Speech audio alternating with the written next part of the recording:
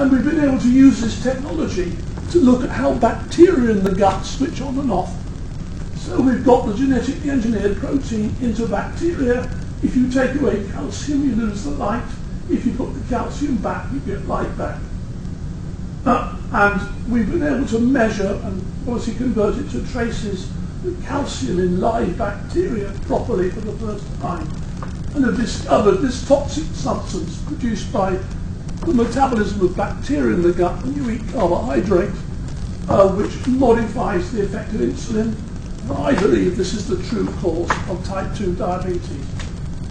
I'm moving rather fast. It's also given us a mechanism um, which is based on the Darwinian principle of small change by small change. If you look at the growth of bacteria, calcium, all it does is no calcium plus calcium. Changes the division time by about five minutes, 55 seconds, 55 minutes to 50 minutes, just 10%. Doesn't look very significant. But you can work out that if you have two strains of bacteria, one of which which grows 10% faster than the other, within 24 hours you have 20,000 times more bacteria of the one that grows faster. So this is a mechanism that we've worked out because we've been able to use bioluminescence to study how cells uh, grow at different rates. I got me into cooking, so if you ever come to Pembrokeshire, I'll be happy to cook you a nice meal. And this is another bit of entrepreneurship that's come out of my work because we set up a spin out called Welston Press and wrote a recipe book. I'm aiming over the next few years to use that to develop educational material, hopefully that teachers will want to use and students want to use. Uh, it told us something very new about evolution. Um, so it may be bioluminescence could be as old as 60 million, 600 million years. There are fireflies in amber. There's a lanternfish which is kept at the Natural History Museum, which is 100 million years old. But one of the most exciting new ideas that I've had from this is I think it will lead us to one of the fundamental questions of evolution. What is the origin of a new enzyme? So to finalize, I've done 10 minutes. Um, so just to summarize in bullets, what are the advances made from bioluminescence? We've discovered, not me, but others have discovered, one of the most important things in bacteria, quorum sense. We've been able to measure free calcium inside live cells and including whole animals, it's been able to image, to actually visualize the calcium change, which is a universal switch in all your cells in all nature. We've been able to measure things like ATP, which is a very, very important way of measuring viability, biomass. There's a company in Bridgend which sells huge amounts of firefly luciferase to the food industry because they use it to detect whether they've got clean surfaces because it detects very small numbers of bacteria. It also, in my view, should be used to detect life on Mars. Whether we persuaded NASA or not, I don't know. Uh, we've got, we can measure other processes in live cells by changes in colour. It's used as a gene reporter, it's the best one. These are the species that are used to link it to a, a, a regulatory element you want to attack with a drug. We can measure oxygen metabolites and oxygen in live cells. It's led to these huge numbers of clinical tests.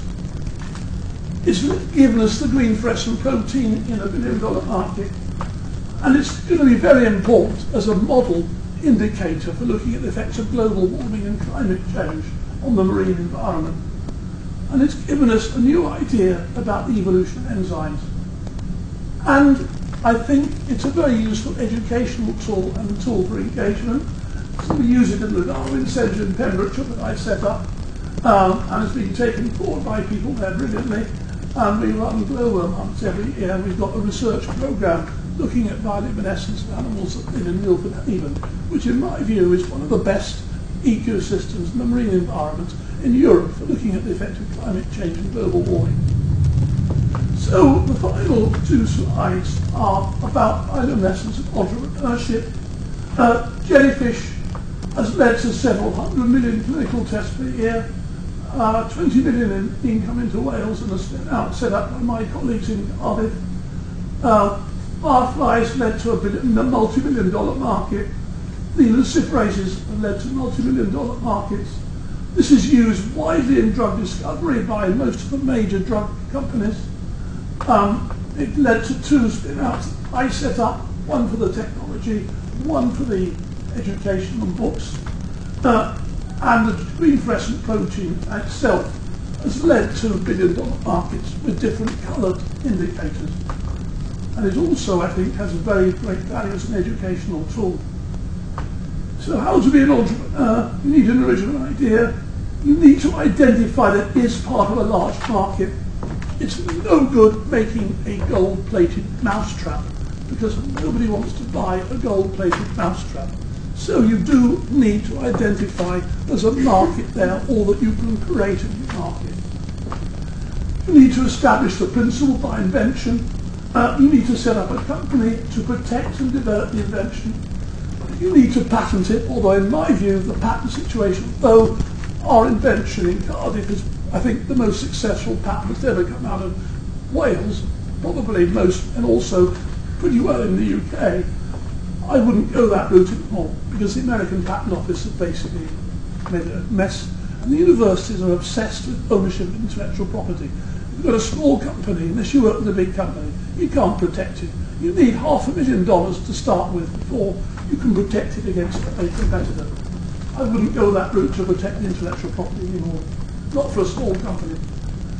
You need to find a big partner or license to a big company you need to innovate to convert the in, in, in invention into realistic products. You need to set up a manufacturing facility. Uh, you need to market it, of course, the internet gives us that. You need to continually assess your progress. So the four key things for success are focus on something that you want that can be bought, commitment, you need funding, you need a lot of hard work. So finally, the key thing is to remember about bioluminescences. All bioluminescences, luminescence is a chemical reaction that makes the light by exciting electrons. It's not the same as fluorescence, which involves electronically excited states, but you do that by absorbing light. It's also not the same as phosphorescence, which the dictionary will tell you in common parlance that phosphorescence, animals like glowworms that emit light. That is not correct scientifically. Phosphorescence is a type, scientifically, is a type of fluorescence where the electron spin state is different. So it's a bit of a complicated quantum, uh, quantum theory explanation. But it's not the same as bioluminescence. Uh, it has led to major discoveries, invention in biomedicine, it's established several billion dollar markets, completely surprisingly for people that thought that those of us that worked with animals that flash and glow in the dark were crazy. It's a fabulous phenomenon. It's been a joy to work with, absolutely fantastic. And there's still a lot to be curious about. Even the babies can sometimes glow in the dark. I've even been known to glow in the dark. Thanks.